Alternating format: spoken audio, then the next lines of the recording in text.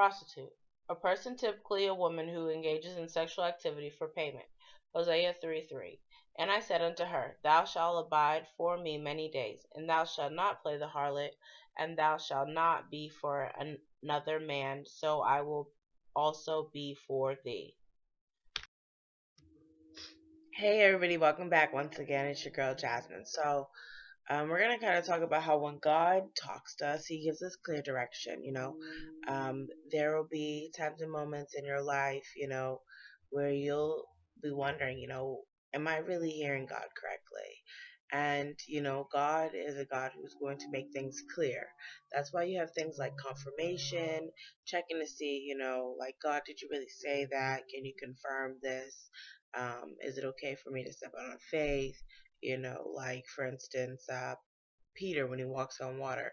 Lord, if it be you, bid me to come. He didn't say, yeah, it's me. I, no, he said, come, come. It was clear as day, come. Uh, so we're going to look at uh, 1 Corinthians uh, 14, verse 33. It says, For God is not a God of disorder, but of peace, as in all the congregations of the saints. So, um, what we'll know is God is not an author of confusion. Um, he's not an author of confusion. When he gives you instructions or directions, they will be clear. Um, they will speak loudly, meaning like, you know, like a GPS. Turn left here means to turn left here. Take a step of faith means to take a step of faith. Like I said earlier, when he told Peter to walk on the water, uh, I believe it's Matthew 14, um, he said, Peter, uh, he said, Lord, if it be you, bid me to come. And he said, come. And so the directions of the orders were clear to come here, take the step of faith, move forward, move in this direction. It's okay to go this way. I'm with you.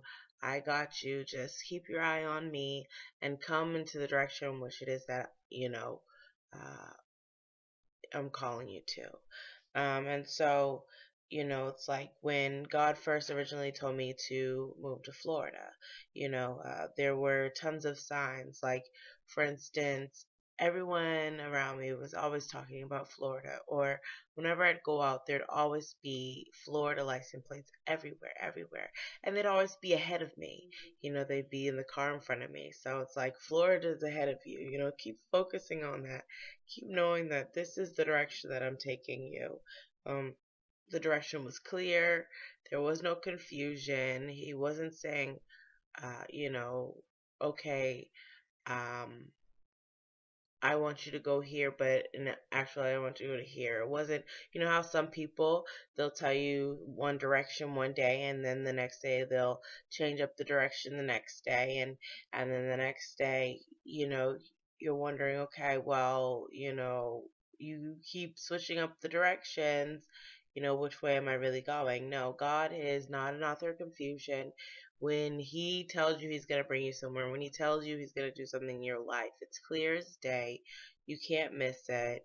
Um, you know, you know what you are going to do, what is going to happen in your life. And I can, you know, I can, um, I can, if you look in Acts, we'll look in Acts number 9 at, um, at, uh, what's his name, Saul, when, um, if I can turn to Acts. When you think about the Bible, in Acts chapter 9, um, when God approached Ananias on the, um, and told him that he was going to meet Saul, you know, uh, his directions were clear as day. There was no confusion um, at all. He knew who he was talking to. He knew that it was the Lord. He knew the instructions in which it is that God was uh, calling him to. And we'll, we'll look at that. Alrighty. um, it says right here in Acts 9, verse 10 In Damascus, there was also a disciple named Ananias. The Lord called him in a vision Ananias. So here it was, the Lord had called Ananias and called him in a vision, and it was clear as day. He knew it was the Lord. and he called him by his name, Ananias. Everything was clear as day. Okay, you you can picture it, picture it in your head. Here it was, Ananias is getting called by God in the vision, and he said, "Yes, Lord." He didn't say, uh, "Who are you trying to speak to me?" He knew it was the Lord. He answered, and the Lord told him, "Go to the house of Judas on a street, on Straight Street, and ask." for a man from Tarshish. So here the instructions are clear as day as again. The Lord told him to go to the house of Judas on Straight Street and ask for a man. Now there's no confusion in that. He knew what street he was going to. He knew what he was going to ask the man he knew what where the man was from. He knew the man was named Tarshish, and he knew it says it continues on named Saul, for he is praying. So he knew that he was looking for Saul from Tarshish on a street called Straight in the house of Judah. Okay? For he is praying, and in a vision he has seen a man named Ananias come. So God also gave him the vision as well. The vision was clear day for Ananias and it was clear as day for Saul. Um, and it says, Come and place his hand. Oh, in a vision he has seen a man named Ananias come and place his hand on his on him to restore his sight. Lord, Ananias answered, I have heard many reports about this man and all the harm he has done to your saints in Jerusalem. And he has come here with the authority from the chief priests to arrest all whom call on your name. But the Lord said to Ananias, Go, clear as day, go. No confusion. Uh, I don't think it's safe to go. No, go. That was it. You know, his instruction was clear as day. This man is my chosen instrument to carry my name before the Gentiles and their kings, and before the people of Israel. And I will show him how much he must suffer for my name. And it says, And then Ananias went to the house and entered it. Placing his hands on Saul, he said, Brother Saul, the Lord Jesus, who appeared to you on the road as you were coming here, has sent me so that you may see again and be filled with the Holy Spirit. And immediately something like scales fell from Saul's eyes, and he could see again. And he got up and was baptized, and after taking some food, he regained his strength.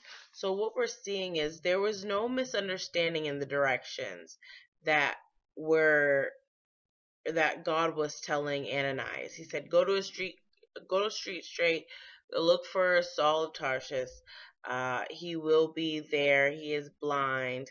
Uh, when Ananias questioned him, God said, Look, go, you know, no hesitation, go. He's waiting for you, you know, to uh, touch him so that he could receive his sight. And that's exactly what he did. He went there, he touched him, and as soon as that happened, the scales fell out of his eyes and he received his sight. There was no misunderstanding in the directions. The directions were clear as day. God is not an author of confusion. When He says something to you that applies to your life, that He wants you to do for your life, it is clear as day. There is no misconstruing it. He's not going to confuse you. Well, I think that God said this to me. No, God, if God is really speaking to you in your life, if God is really telling you to do something for your life, if God says something is going to happen in your life, if God says, I need to go here in your life, then that is where it is that you're going. There is no confusion. Well, I think that God said no. Point blank period. If God said it to you, then God said it to you, and there is no question or doubt about it because He's not He's not an author of confusion. Um, you know, a lot of people. Uh, you know, I remember when I stepped out on faith and left college to follow, you know, God. You know, they were like, "Oh, well, maybe you're hearing the devil." I got that a lot. Trust me, I can't even not even explain or express to you how much I got you're hearing the devil, you're hearing the devil. And from even people in the church, from pastors, from relatives. You're hearing the devil, friends. You're hearing the devil. And I would go back to God's word and I, you know, ask him over and over, am, am I hearing you? He'd confirm it over and over and over and over again, you know, and, you know, I didn't want to be in you know in some type of confusion like did i hear god wrong?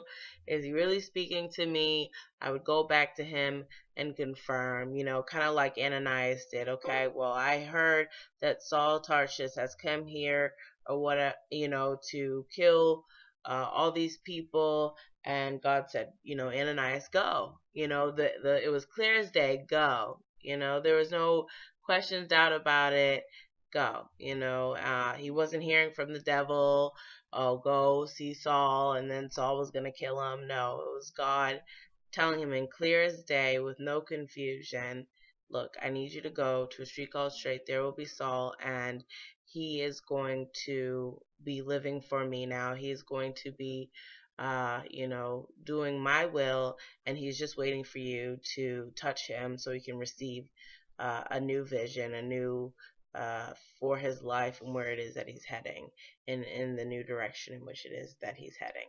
So I'm going to put up the first few questions and then we're going to carry on. Right, you guys? Peace. Do you believe that you are hearing God correctly? Have you asked God to confirm what he has told you? What is God asking you to do? All right, so we're going to kind of look at um, this again. Uh, so directions. Directions are uh, a course along which someone or something moves.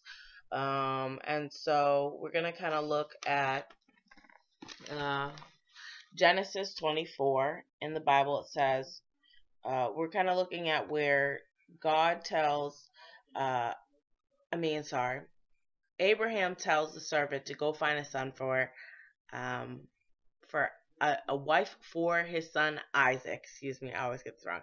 So Abraham goes and tells the servant to go find a wife for his son Isaac. And so um, he goes out and he prays about it um, at a well. And all of a sudden, this woman uh, named Rebecca comes up and he answers. He does everything that in which he just prayed for, for a woman for Isaac. He watered the camels and, um, you know, he, uh, she asked, she watered the camels, gave the camels water. She gave the servant something to drink. She was kind to him. She was the answer to his prayer, and that's exactly what he had asked for. And so, um, I, so the servant wants to bring Rebecca back to be Isaac's wife because he knows that the Lord has pros- prospered the way for him and that this is his wife. And so Genesis 24, um, it shows that uh, in verse 51, we're going to see that Rebecca's steps were directed by God. So when we think about the word directions, it's a course along which someone or something moves. So we'll see that this is what God had directed uh, Rebecca to do. It says in verse 51 Here is Rebecca, take her and go, and let her become the wife of your master's son, as the Lord has directed. So these were the instructions. Take her and go. So here is Rebecca. Take her and go, and let her become the wife of your master's son as the Lord has directed. Uh, so the Lord had directed this. The directions help you to figure out, you know, where you're going in life. You know, no one likes to go through life without having some type of direction. Uh, people like to know where they're headed. Uh, even in faith, you know, you you want to know, you know, okay, I'm gonna step out on faith where am I heading? You know, even to the point where I stepped out on faith with God and God had me go to California. but still I still had some type of direction because the Lord had directed me towards California. Even though I didn't know what was going to happen on the other side, I still knew that I had a direction.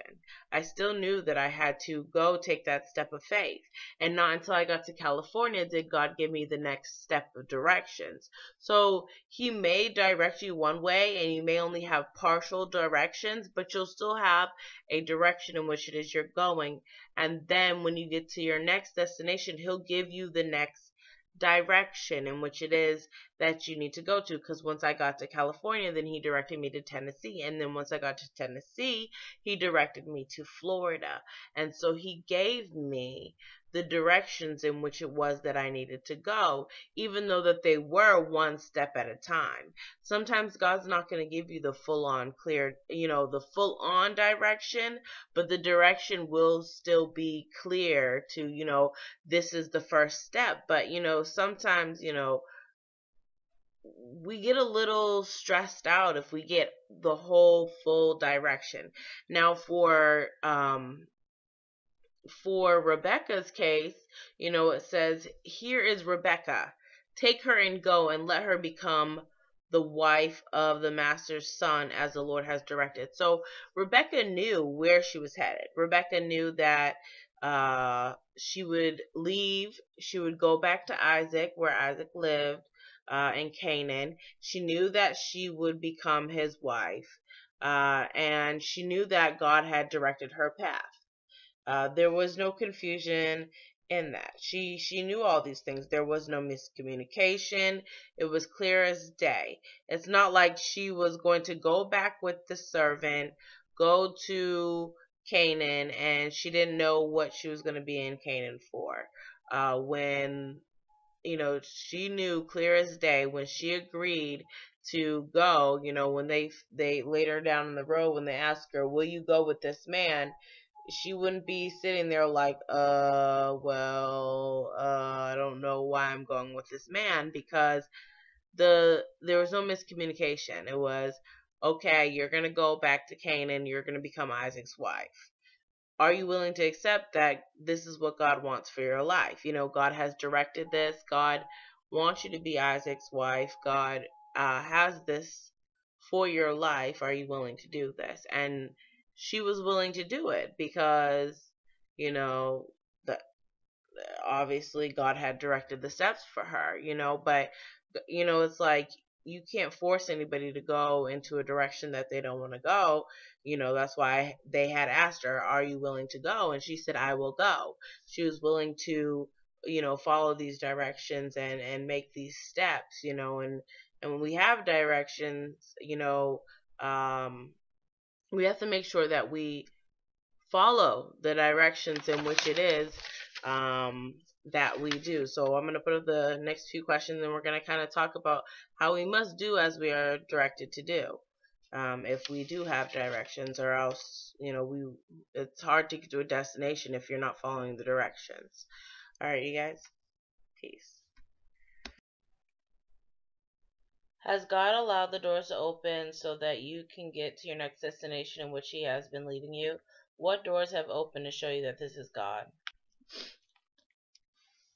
All right, so we're going to kind of talk about, you know, if God gives you directions, then obviously you must do as directed. You know, you can't think you're going to get to a destination if you're not going to follow the directions in which it is that are given to you. You must follow directions which are given to you. Um, and so we're going to turn to Deuteronomy uh, chapter 2, since my Bible wanted to close up on me. Alrighty, here we go. We're going to look in Deuteronomy 2, um, verses 1. Um, and we're going to continue on down. So it says, so basically we're seeing that you know this is kind of like uh, God had brought the children of Israel out of Egypt, and um, you know God had been you know speaking to Moses, and you know of course he's being led by God, and so he has to listen to the directions of what it is that God gave him. You know. Um, to be able to get to the places where he needs to be. It's like a few months ago, um, before I moved into this place, I had another place which I had a roommate. But in the middle of my six months lease, God told me that He was going to make a way. He's going to open the door for me to move out, you know, without my, you know, without getting any consequences with my lease. I had to follow Him and I had to move out right away, you know.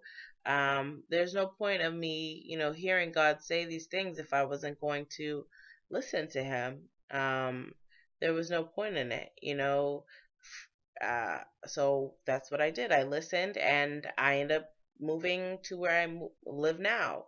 Uh, it's just like when I moved down here, you know, here I was. God told me, you know, uh, almost is never enough. Do it now. Do what you have to do so you can move to Florida. And, you know, I was going to, I wasn't going to fill out all the paperwork to get the apartment in which it was. You know, I was going to wait for the next day. And then the next day, here it was. I was uh, getting paperwork sent to me to sign my first lease for when I moved down here. So, you know, when God gives us instructions, we are to do uh, those instructions. We're not supposed to just sit there. You know, what's good is his instructions if you're all you're gonna do is look at them and you're not gonna follow them. You know, um, it's not going to uh, be beneficial to you at all. You know, um, what's the whole point of following God or following Jesus if you don't listen to uh, what He's asking you to do? Um, so Deuteronomy two.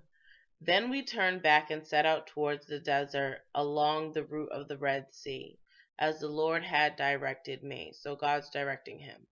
For a long time we made our way around the hill country of Seir. Then the Lord said to me, You have made your way around this hill country long enough. Now turn north. Okay. So here they were, and they had gone around uh, this hill country place long enough, and God's like, okay, well, you know, it's kind of like going down a road, and then all of a sudden it's, you know, it's your it's your time to turn. You know, uh, so you must take the turn because you're going into a new direction. So it says now turn north. So they had to turn north. That those were the directions in which it was that they were turning to.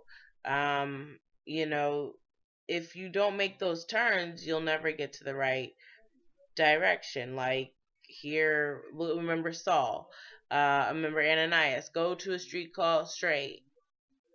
Uh, what if he would have went down a street called Crooked, or a street called Curvy, or a street called, you know, like it he needed to go down a street called straight. That was his turn.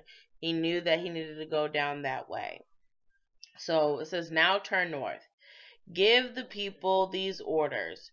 You are about to pass through the territory of your brother brothers, the descendants of Esau, who live in Seir. They will be afraid of you, but be very careful. So that's another direction. Be very careful. Uh, they were going to take new turns in life. So they, you know, they had a turn, but they had to be very careful because they were going into new territory. It says, Do not provoke them to war, for I will not give you any of their land, not even enough to put your foot on. So they were getting instruction not to provoke them because God wasn't going to give them their land uh to you know not even enough to put your foot on. And i mean i wear a size a size 10 and so uh i that's not even enough to, you can't even live on on a piece of land as big as my foot. And i have a big foot you know? Um but it's still not even enough to do anything. Um so he says, I have given Esau the hill country of Seir as his own. And you are to pay them in silver. So here's another direction. You are to pay them in silver for the food you will eat and the water you will drink.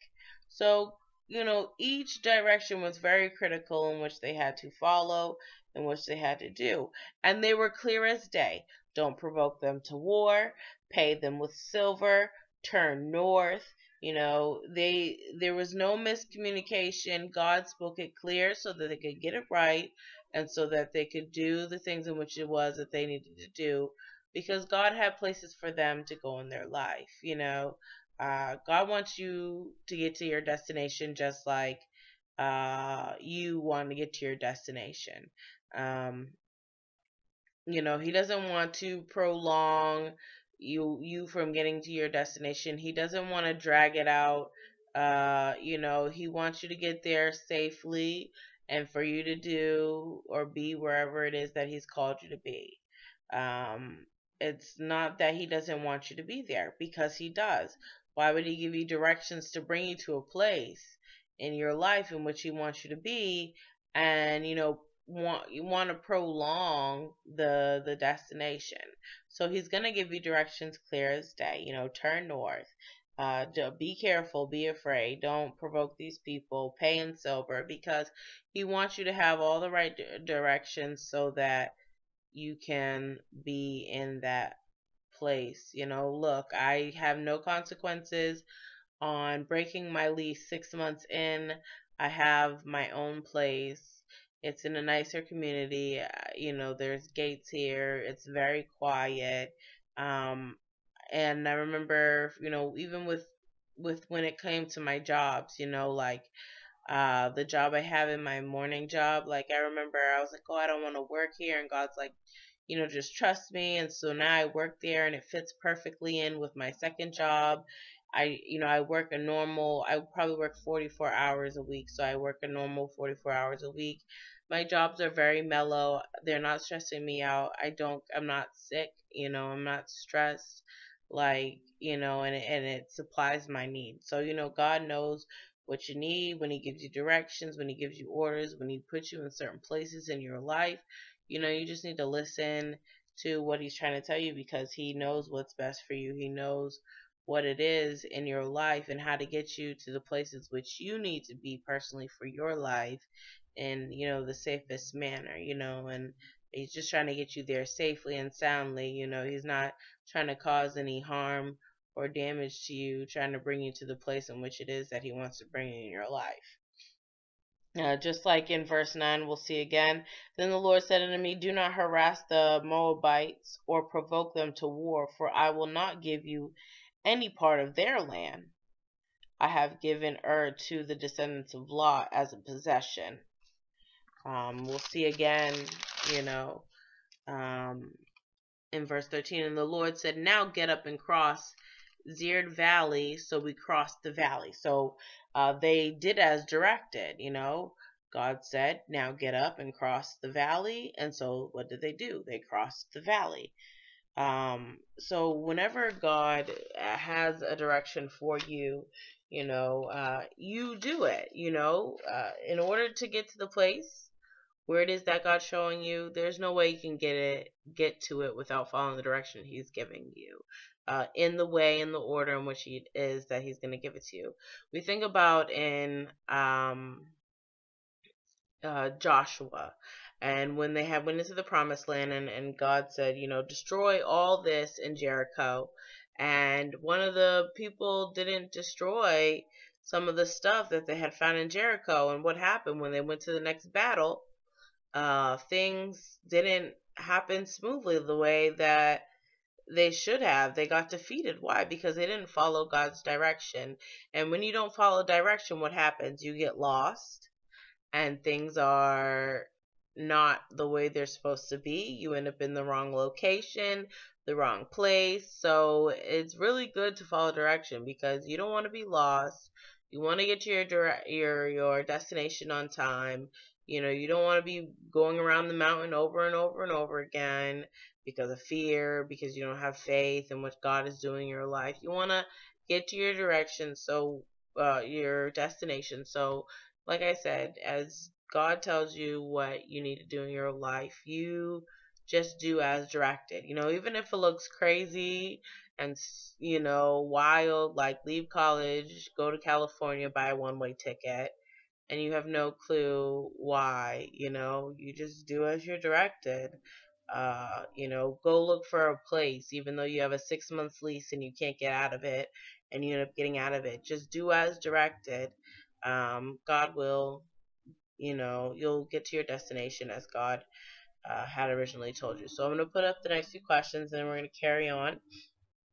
Alrighty. Are you doing as God has directed you to get you to your next destination? What steps have you taken? Alrighty, you guys. So this is the last bit. Um, so here we're gonna kind of look at Hosea and how God told Hosea to marry a prostitute. Clear as day.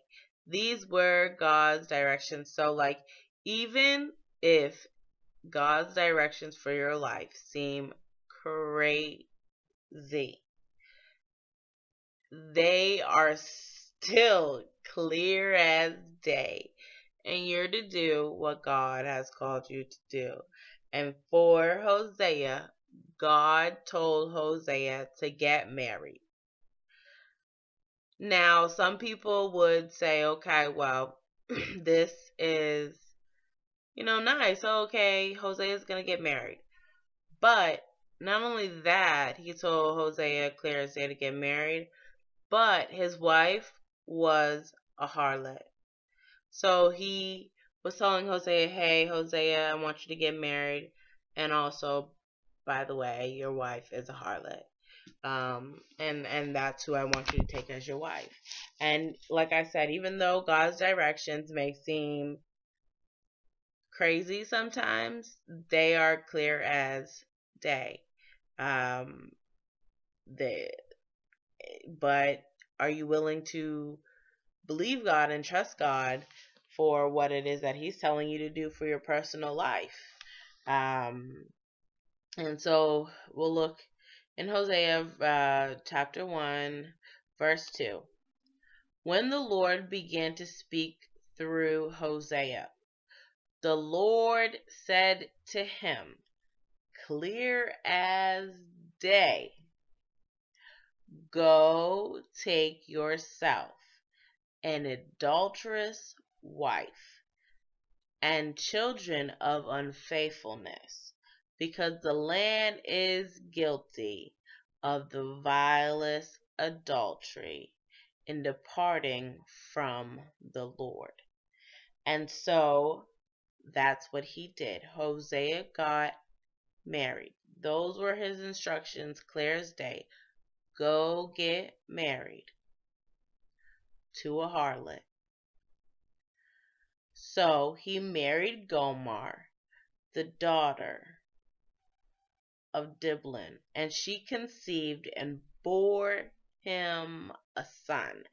Now, you're like, what in the world? Here's this man, and God tells him, okay, go marry a prostitute. I, I want you to do this. Those are instructions. Get married. Not only that, get married to an adulterous woman, a prostitute. Go ahead, get married to her. Go go do that. I'm instructing. That's that's what I want you to do. I don't want you to do anything else.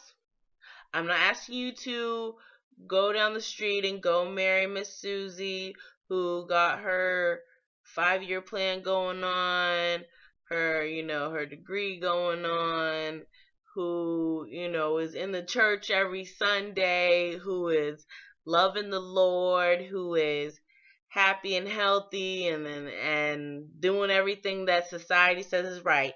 No, God said, "Hey, I want you to go marry a prostitute."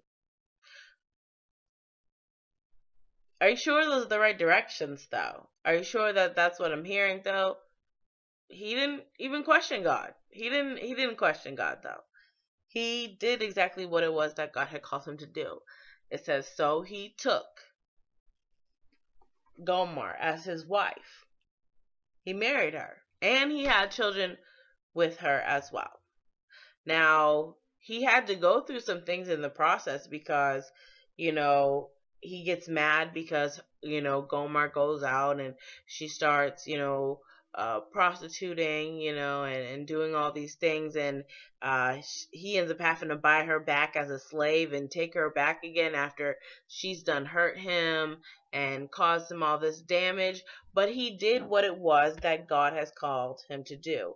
Now, we may have to go through some things. You know, God's directions may be clear as day, but they are not always going to be easy. They're not always going to be the way society says they're supposed to be. You know, we think about people like Naaman. In the Bible, Naaman had leprosy. He went to Elisha. Elisha said, you know, you know, what do I do? He was telling him, what do I do to get rid of the leprosy? And Elisha told him, go into the Jordan River and, you know, dip in the seven, dip in the river seven times. Dip in the river seven times, you know, he wasn't even going to do it. And because he wasn't going to do it, he almost didn't receive his blessing. He almost didn't get his healing because he wasn't going to do what it was that was directed to him. But it was something so simple, something in which God was directing him to do. And when he did it, then his leprosy went away. But, you know, we have to, you know, even if it sounds strange, even if, you know, you don't think that uh, you're hearing God correctly, it, it doesn't matter, you know. Like when I first heard, okay, Jazz, I want you to leave college. Excuse me. Uh, I want you to follow me, but uh, Lord, I am following you. Um, you know, I go to church on Sundays. I'm in Bible study every day except for Saturdays. You know, I'm in college. I have a five year plan. I have furniture for a place for when I leave college. Um, I want to go get my master's degree. You know, I had it all planned out. I had it all together. I knew what I wanted to do. I knew what it was, you know, that society told me, you know, I'm successful because I have these things. And God says, no, I'm directing you and you need to listen to what I'm directing you to. And so I sold all my stuff as God had asked of me and required me to do and I got up and I left college and I followed Jesus. And though I looked crazy and though you know, I look back and say, what in the world sometimes I know that I was not confused. I know that God's directions towards me were clear as day. And you can't, you know, I confirmed it over and over again because, you know, it wasn't what society says is the norm for people in you know today's day and age. But point blank period at the end of the day like for hosea hey hosea go take you an adulterous woman. It didn't seem you know something what what god? Am i hearing correctly? Go take me a prostitute as a wife you know? It didn't seem that simple you know, it didn't seem normal to society. It wasn't, oh, go take you a little church girl who got it all together and you guys are going to go and you guys are going to preach together my word. No, it was go take you a harlot wife. And that's the directions he had to follow. And though sometimes the directions don't seem normal to society and seem so strange, if God asks you to uh, do some type of direction, then you follow that direction. Uh, you know, God knows what it is that He has for your life. He knows how you're going to get your healing. He knows uh, where He wants to bring you in your life. You know, uh, if I if, if I didn't listen to God, like I can only imagine where I would be. You know, like I don't want to go around in circles my whole life. I got my healing. You know, I've been struggling my whole life with tons of traumas. I mean, I haven't even took medication in about five years in which I'm supposed to take, and my body is still functioning normally. You know, I got my healing, in which it is that God had, you know, for my mental traumas. I mean, I still struggle with some things in my life, and, you know, everybody does, you know, but uh, from you know struggling with you know different anxieties and um, dealing with abandonment issues and and things like that you know uh, god has really been um, a blessing to me, you know, during this whole process from helping me, you know, sending my brother's girlfriend to help me get my license when, you know, my family members weren't uh, doing the things in which I needed them to do to help me to make those steps, which, you know, you would think they would do, you know.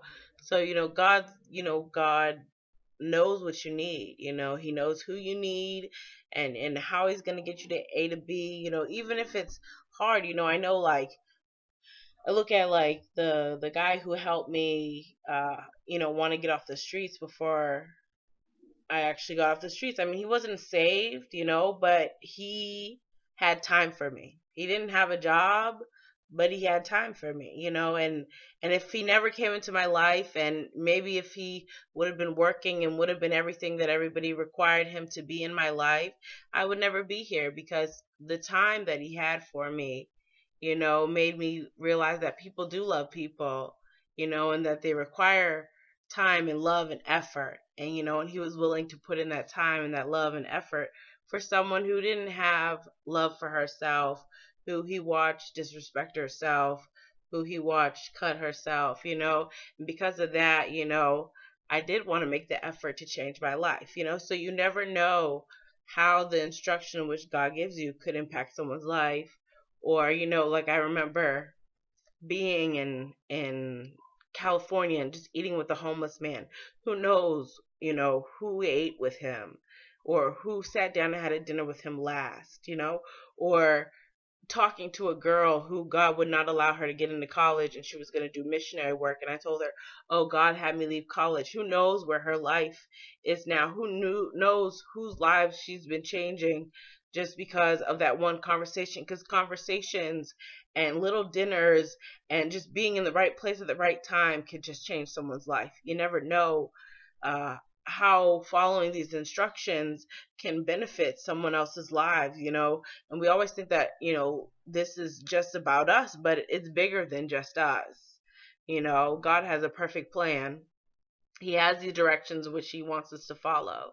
You know, if we follow them, then we can be, you know, there for that person, you know, who knows, you know, uh I remember one night I was in a hotel and there were like bed bugs in the hotel and before I could even lay down, I went to the office and I was telling this guy about my past and the things in my life and he was about to sleep with this prostitute and I told her I said, you know, she's like, "Do you smoke, drink, do you want to hang out?" And I was like, "No, I don't do any of that." I said, "But baby, I've been where you are."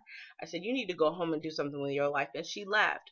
I don't know how it impacted her life. I don't know where she is right now, but little conversations. You look all throughout the Bible and and God just you know Jesus says you know little things to different people and it just uh, you know go your faith has made you well or or you know just has these like little words for them just you know and it impacts their lives it impacts their lives you know you don't know how these little directions just to be here or, or be in this place or or do this thing can and can change someone's life um, in any type of way just because you're listening to what it was that God told you to do as directed. And and though it may seem crazy, uh, you know, it's clear as day.